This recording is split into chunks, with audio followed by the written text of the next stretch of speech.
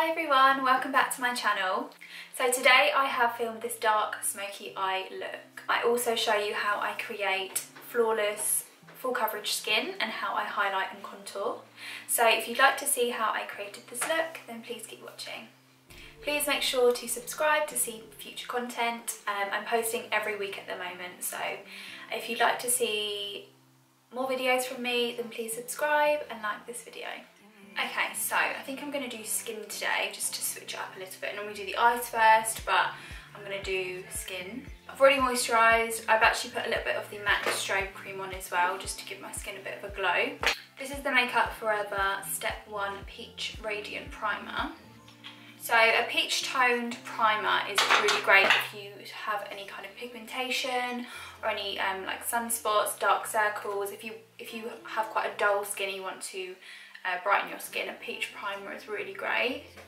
I have quite dark circles at the moment, so I'm going to use this primer just to kind of even out my skin tone. This primer is also great at just creating like a smooth base for your makeup and obviously make it last longer. They have a few different ones. They've got the smoothing one. I think they've got different colours like green, um, lavender and things like that. So there are different ones. So the Makeup Forever Skin EQ, can't say that word. Skin EQ, Skin EQ. Skin Equalizer. I can't, I literally can't say that word. Anyway, it looks like that. so if you want a really, really kind of full coverage base, you can apply concealer first before your foundation. You don't have to. Um, I do this because I do have, especially at the moment, I've got like a few kind of scars, like hyperpigmentation, just from old blemishes. So I'm going to apply a little bit of concealer because then when I go over the top of the foundation, I won't need to use as much. I'm going to take the NARS Radiant Creamy Concealer in the shade Custard. I'm going to focus this around the nose because I get a little bit red around the nose and just on any kind of redness, blemishes, scars, anything like that.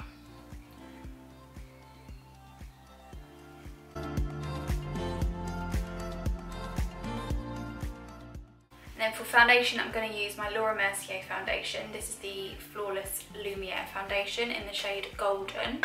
So when it comes to creating like a full coverage skin, I would definitely recommend to build in layers. So I wouldn't go straight in with loads of product straight away, um, just because that it can end up looking quite cakey.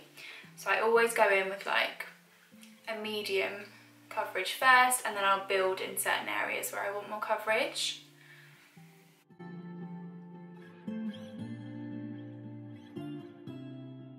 And I always use a damp, um, this is a Real Technique sponge. So once you're happy with your coverage, I'm then going to move on to highlight and contour and concealing under the eyes. I had a lot of questions recently on how I do my highlight and contour, so I'm going to go a little bit more in depth on this. Obviously not everyone has the same face shape, so not all contouring and highlighting will suit everybody, but this is just the way that I do it on myself. So I'm going to take my Laura Mercier concealer, this is the Flawless Fusion in 2W, and I apply it like a triangle under the eye.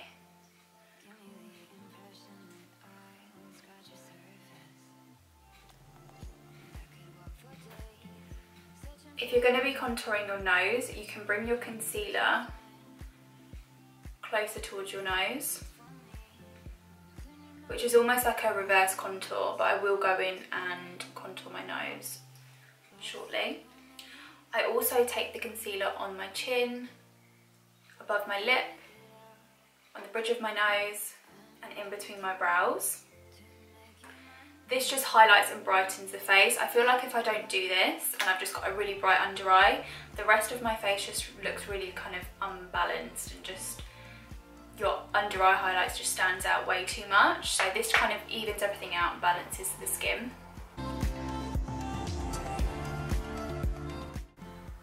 So as I'm blending this out, I'm really taking it up onto the cheekbones and up by the eye and this just lifts the eye and just brightens that whole area.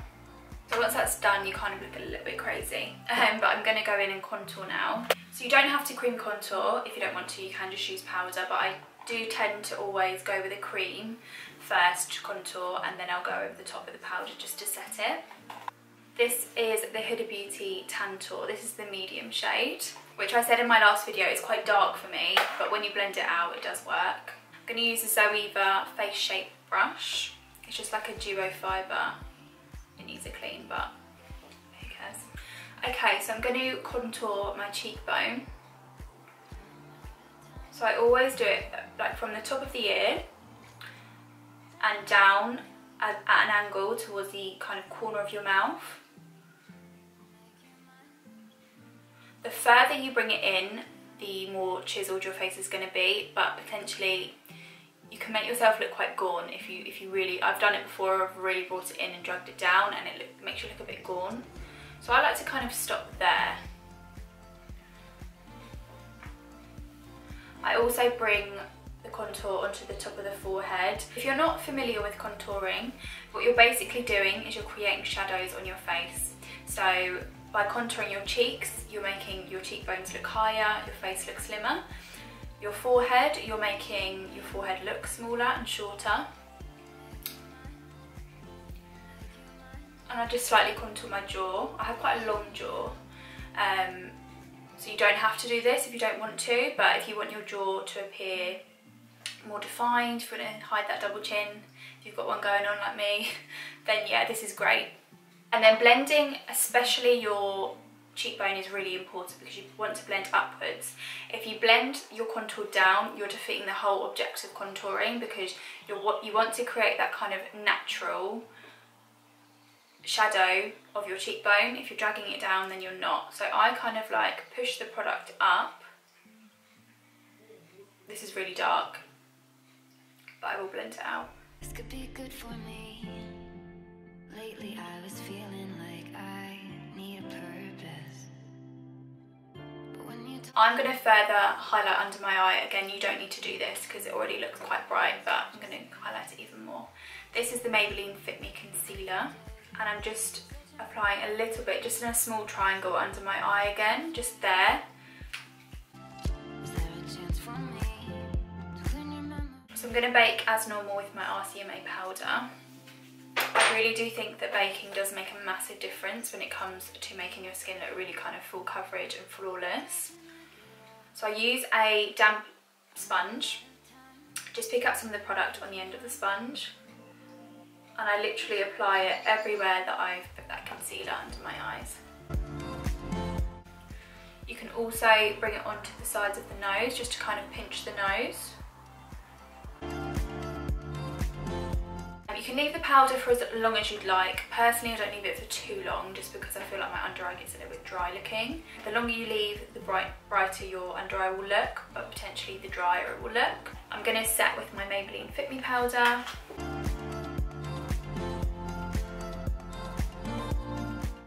So I haven't cream contoured my nose today just because I actually prefer the look of powder on me, but you can uh, cream contour your nose if you want to. So I'm just going to take NARS Paloma, which is like a cool toned bronzer. You don't want anything too warm when you're contouring your nose, but you also don't want anything too cool that it looks muddy. I'm just using this uh, fluffy brush Obviously all noses are different shapes and sizes, so just because I'm doing it this way might not necessarily mean that it will suit you, your nose. But I like to just go on the tip of my nose, just like that. And then just on the sides. Obviously the thinner lines you create, the more narrow your nose will look, the wider, the wider your nose will look.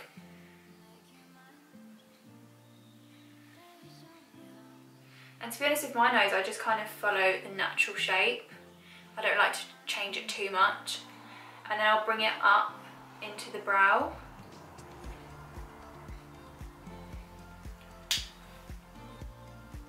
This will just make it more seamless and not like you've got two lines on the side of your nose. And then just to make my nose look a little bit more like a button, more cute, I take a line just here It makes the nose look a little bit more lifted as well.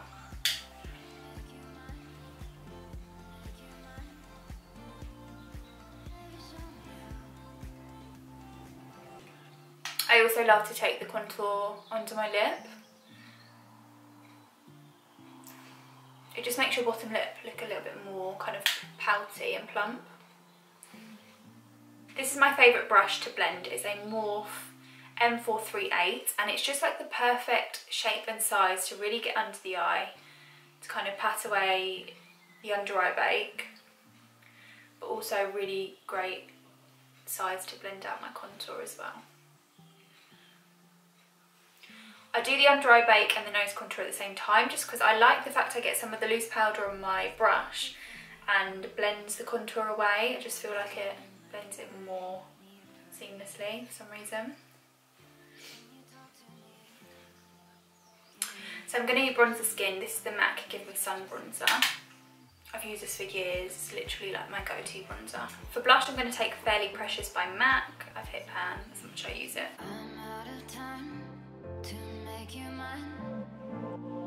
If you want to intensify your contour any further, you can go in more with like a cool toned contour powder, but I kind of like it to leave it there. I don't want it to look too intense. I feel like that's enough. But I do like to take my loose powder under the contour just to highlight and clean it up. So I literally apply it underneath the contour. And I'll just leave that to sit for a while just to brighten. I'm just going to fill my brows in now. Um, I'm just using the NYX Micro Brow Pencil. This is in the shade Taupe.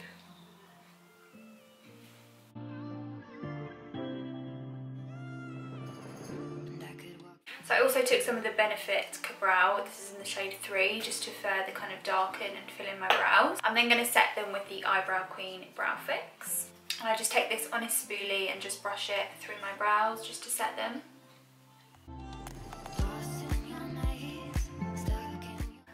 Moving on to eyes now, I'm going to take the Louise base.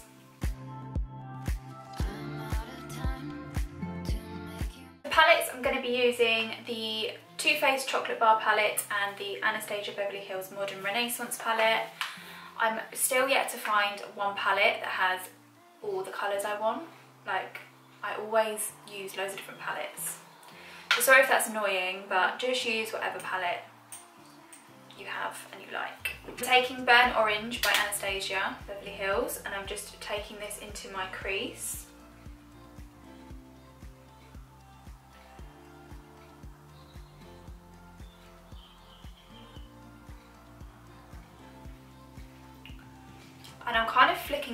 Into my temples because I want to create that kind of fox eye, lifted eye. I'm literally so annoyed. I thought my camera was recording when I was doing my eyes, but it wasn't. So I was literally just talking about how I blend eyeshadow and what colours I was going in. The eyes aren't finished, but we're gonna have to pretend this darkness isn't here and I'm just going to talk you through what I did. okay, so I took Antique Bronze by Anastasia Beverly Hills on a MAC 217 and I literally focused this on the outer corner of the eye and into the crease. But I'm not bringing it up as high as that transition shade. And with every step I do, I take a fluffy brush and just blend everything.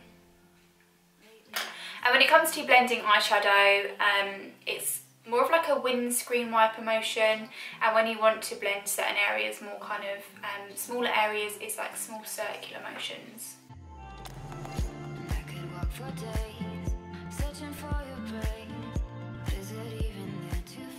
And I'm just flicking this up again up into my temples. I do this to create a more blown out effect. If you want more of a rounded effect, then don't do this.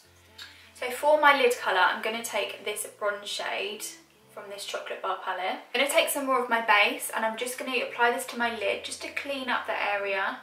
I'm not creating a cut crease, it's just, you see, it just brightens the area again. It's a great trick if you've maybe blended too much dark on your lid. You can just take the base and just clean it up again.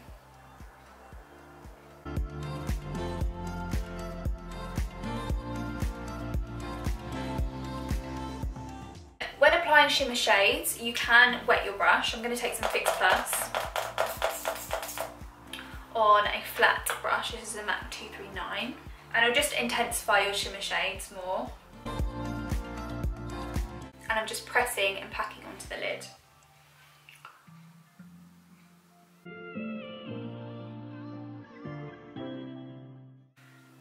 And I just take my brush and just blend the edges again. To highlight my inner corner, I'm going to take Primavera by Anastasia, which is a gold shade, soft gold. Actually no, it's more like a champagne.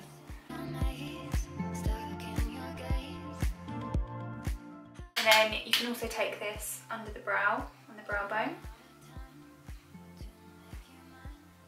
And then I'm going to take Antique Bronze and run it under my lash line as well, my lower lash line.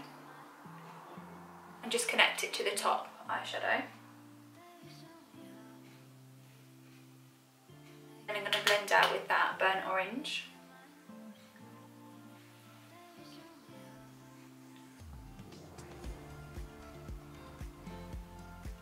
I'm then going to take a small flat definer brush. I'm taking a dark brown, this is Cypress Umber from Anastasia, and I'm focusing this on the top lash line because I'm going to be applying lashes. I'm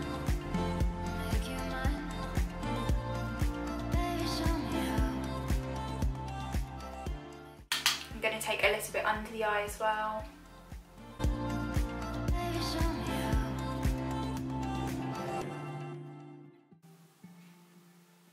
I want this to be even more kind of dark and smoky, so I've taken some of that dark brown and focused it on the outer corner. And I'm just blending in small circular motions because I don't want to bring this up too high or too far out. I want the darkness to kind of be focused on the outer corner. Okay, so I've decided I want a little bit more brightness here. So I'm taking this gold from the Chocolate Bar palette I'm just focusing it in the inner corner and I'm actually bringing it up a little bit higher. I have quite a small lid space, so doing this will make my lid appear larger. Lately I was feeling like I need a purpose. But when you talk to me... And then taking a black liner for my waterline, this is the MAC Graph Black.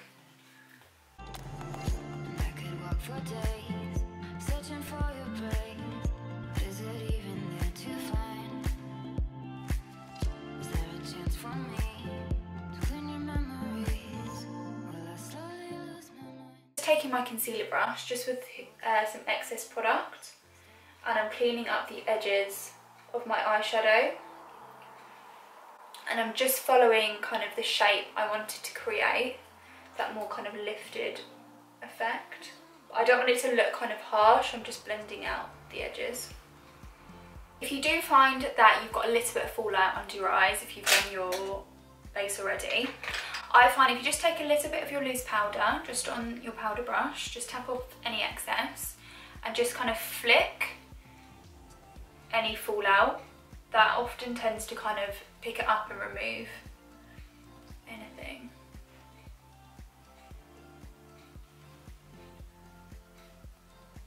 And because you've already set that area, it's really kind of smooth anyway. it's not sticky because you've already set it, you can just literally flick it away. I'm going to take this Bare Minerals concealer, it's a powder concealer in the shade Well Rested. And it's just a brightening product. You don't need a lot, a little really does go a long way. I always just tap off as much excess as I can and just press this under the eyes.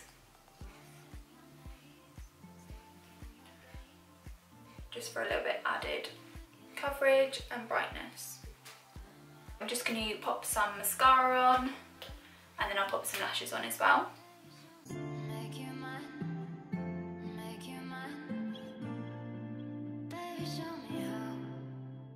I'm going to pop some lashes on now. These are the Peaches and Cream number 29s. Um, these are their faux mink range and they're really nice and fluffy.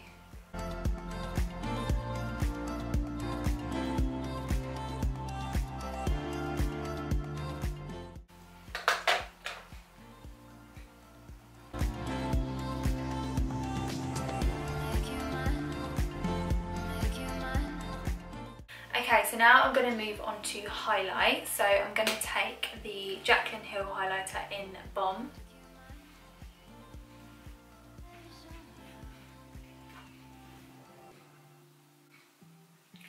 So I just apply it to the top of the cheekbones, above the brow, on the cupid's bow of the lip, and just on the tip of the nose and slightly on the bridge. I actually quite like a chin highlight, just a little bit, not too much. I know some people don't, but I'm a fan of it. So for lips, I'm going to do a nude just because I feel like the eyes are quite dark, so I don't want anything too kind of bright or anything on the lips. So I'm taking Strip Down by MAC. This could be good for me.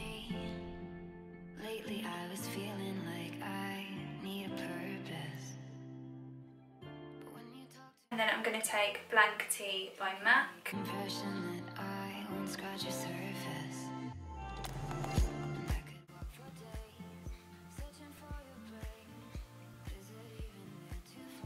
And then I'm going to take some gloss. These are the Anastasia Beverly Hills glosses. I've got Undressed and Dainty. I'm going to just mix them together.